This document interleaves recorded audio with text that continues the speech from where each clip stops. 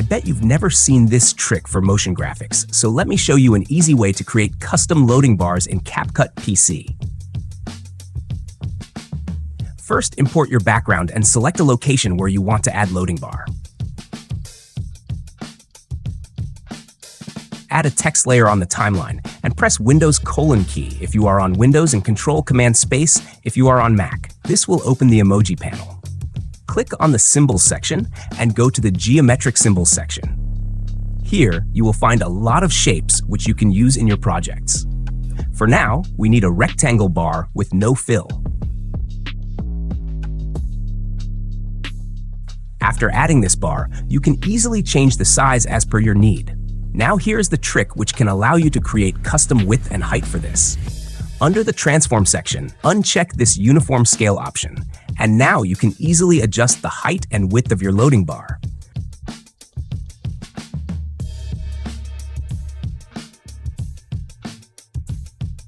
Adjust it as per your need and create a copy of this text layer. Paste it exactly above this layer and open the symbol panel again. This time, we will select the rectangle with fill. With the same steps, you can change its height and width, so adjust it to fit the no-fill rectangle.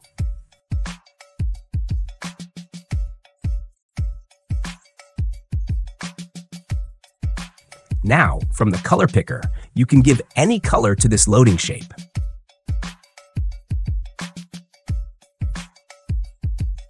Now we just need to animate this green rectangle, and for this, we will create this as compound clip.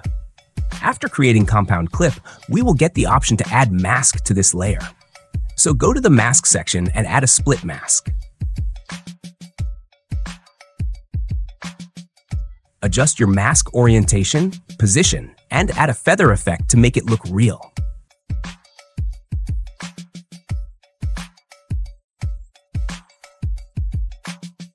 Now, at the beginning, add the master keyframe on this compound clip layer.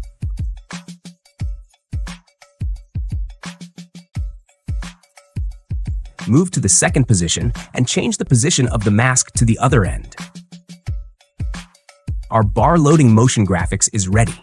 You can speed it up or slow it down by just changing the distance between these keyframes.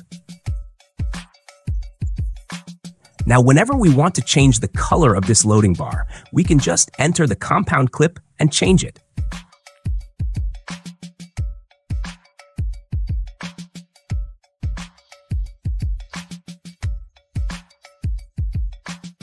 Creating this whole animation into a preset will allow you to use this in any project. So instead of creating this again, you can just open Preset section and import it.